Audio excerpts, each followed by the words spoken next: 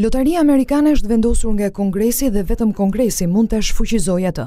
Është kjo përgjigja që ka dhënë në studion e emisionit Rreze Dielli, zëvendëskonsulli i ambasadës së Shteteve të Bashkuara të Amerikës në Tiranë, Omar Medina, pas pyetjes nëse ka ndonjë iniciativë për t'i dhënë fund këtij programi.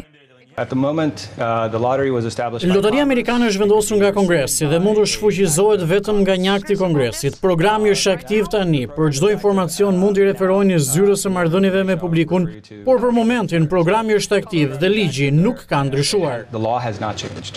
I ftuar në studion e Rreze Dielli ishte edhe specialisti për vizat pranë Ambasadës Amerikane, Lorenc Mansaku, që shpjegoi se cilat janë disa prej pikave më të rëndësishme që duhet të kemi parasysh gjatë aplikimit të lotarisë. Mund të përdorni ndihmën e një miku tuaj, por është shumë e rëndësishme që të jeni aty, domethënë kur personi plotëson të dhënat tuaja dhe të merrni në fund të aplikimit numrin e konfirmimit. E vetmja gjë që ju del domethënë është numri i konfirmimit. Nuk ju vjen email që ju aplikuat me sukses. Çfarë përbën problem? Ngatërrimi i fotografisë të skualifikon. Në qoftë se për shembull gabimisht, sepse kur zgjedh atë, e mira është kur kur e ruani fotografinë në kompjuter ose në disk domethënë të ta ruani me emrin e personit. Okej. Nuk të vjen asnjë email që duhet të paguash para. Nëse ju vjen një email i tillë, kini parasysh kjo është mashtrim. Është mashtrim.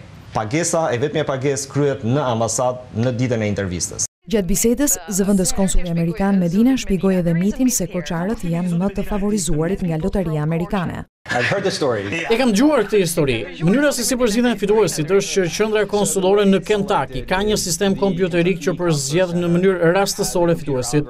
Pra gjithçka bazohet tek teknologjia dhe nuk ka asnjë preferencë ndaj një zone të caktuar.